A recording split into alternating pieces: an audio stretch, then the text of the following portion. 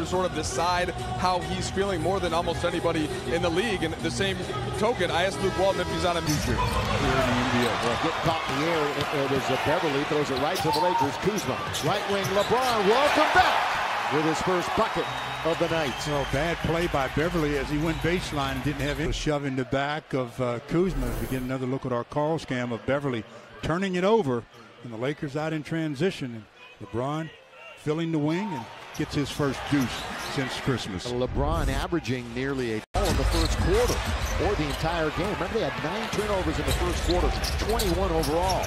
Zoo catch, shoot from LeBron for two. Good job by Kuz of running the floor, getting down the assist. That's the kind of basketball that the Lakers want to continue to play. Early offense and knock down some shots.